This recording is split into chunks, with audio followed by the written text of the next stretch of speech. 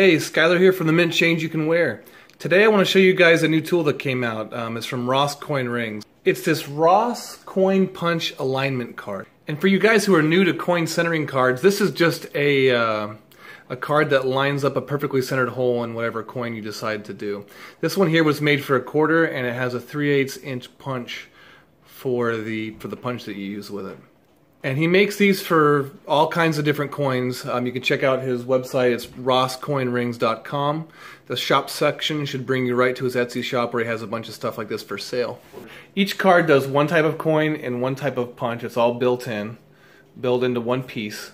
So there's nothing to lose or drop or anything like that. And the cool thing about these is it's meant for the beginner who wants to do basically one type of coin and one type of punch and you want to get into it really, really cheap.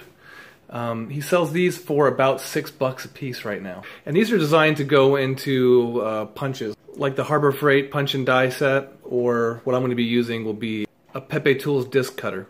So without any further ado, let's get into this thing and see how it works. First things first, get yourself your coin that you're going to be using. Obviously this is for a quarter, and we'll go ahead and put it in there. And it fits right in, nice and tight. Now if you have a more worn out coin or something like that, what you can do is cut yourself a little bit of tissue paper, toilet paper, something like that, put it over the top of the hole, and press your coin right into it. And that's going to take up any slack if it's there.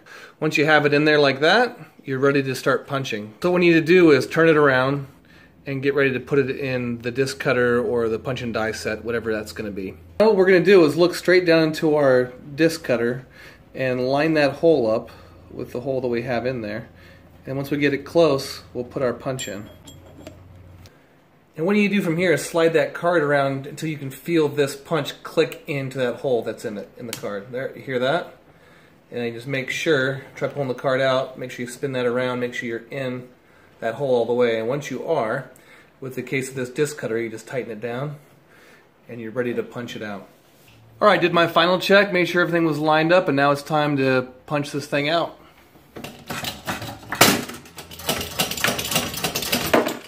Open this thing back up, pull it out, and looks like we have a perfectly punched coin ready to start making a ring.